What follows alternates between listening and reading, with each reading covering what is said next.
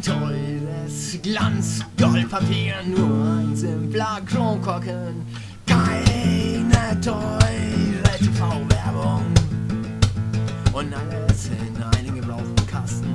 Dieser Sparnis geht an Sie. Wir haben so gut wie an allem gespart, außer an der Qualität des Biers. 5.0 Original ist ein Pissbier, gebraut nach my. I